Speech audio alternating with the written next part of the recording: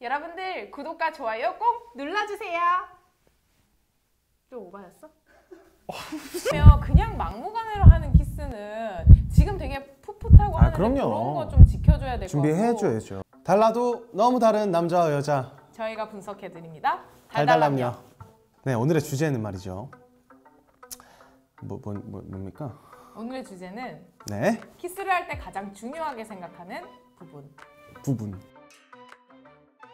네, 저는 대부분 어, 사실 평소에는 키스를 잘 하지 않는 것 같아요. 아 그래요? 그러면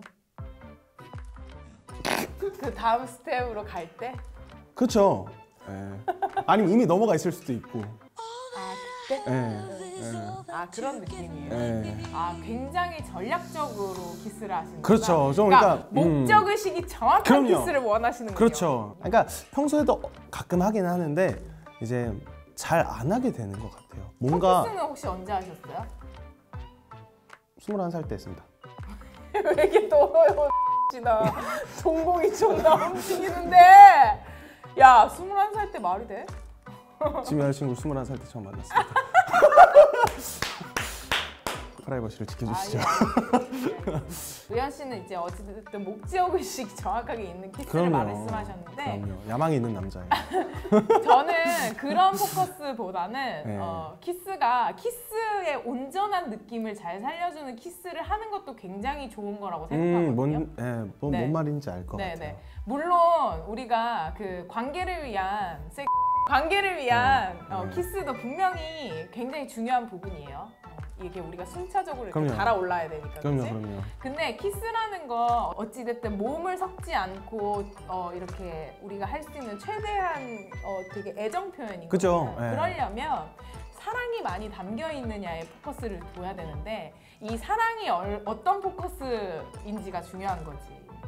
일단 상대방이 좋아하는 향, 음, 향이 좀 이렇게 몸에서 나면 더 음. 좋겠죠. 그리고 얼굴이 굉장히 밀접하게 닿는 그 우리 키스는 이렇게 인중에 제모를 한다던가 이렇게 음. 의연 씨처럼 이렇게 까슬까슬 오늘만이잖아요. 어찌됐든 네. 저는 그런 부분들도 되게 민감하고 코털. 아. 예. 그러니까 그리고 뭔가 준비를 되게 만발의 준비를 되게 갖춰야 아, 되네요. 좀, 좀 그랬으면 좋겠어요. 아니, 그리고 키스에 대해서 되게 그막 잘 못하시는 분들 계세요. 그러니까 네. 본인이 이걸 어떻게 할지 몰라서 되게 정말 설왕설래를 잘 못하시는 분들이 계시거든요. 설왕설래. 음, 침을 질질 다 흘릴 정도로 한다던가 그러면 진짜 매너가 꽝인 거야. 그러니까 너무 이 혀의 움직임에 이렇게 집중하시면 안 되고요. 그러니까 얼굴과 얼굴이 맞대는 거 그리고 나는 눈을 뜨고 키스를 하거든.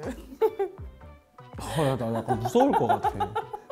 그러니까 내가 그냥 뭔지 알 것 같거든. 근데 눈 뜨고 이게 사실은 약간 아니, 소스라치게 놀랄 수도 근데 내가 있어요. 눈을- 뭔지 알죠? 이렇게 이렇게 이렇게 하고 있는데 갑자기 어 약간 아니. 상대방의 동향을 살피려고 눈을 딱 떴는데 나를 존나 이렇게 쳐다보고 있는 거야. 아니야 그렇게 터, 쳐다보는 게 아니라 아니면 이거 아니야? 아니, 와, 눈- 더 끔찍한 생각 났잖아. 이렇게 아니. 딱 눈을 떴더니 내 코털 길렀는지 수염 언제 깎았는지 막 이런 거 막 이렇게 쳐다보고 있는 거 아니야? 진짜 너무 끔찍한 거 아니에요, 진짜로 인간적으로? 아니야 내가 이 속눈썹으로 이렇게 해서 실눈을 뜨고 본단 말이에요 평소에 뭔가에 당황을 많이 하시는 분들이 보통은 키스를 하실 때도 막 손을 어떻게 해야 될지 모른다던가 자세를 어떻게 해야 될지 모른다던가 되게 막 그래요. 아, 그러니까 많이 뭔가 경험을 안 해봐가지고 이제 좀 당황하고 이런 거 가지고 아니야. 아니야. 그거는 키스를 많이 해보고 안 해보고를 떠나서 저는 처음부터 키스 졸라 잘했거든요 공부 존나 했겠죠.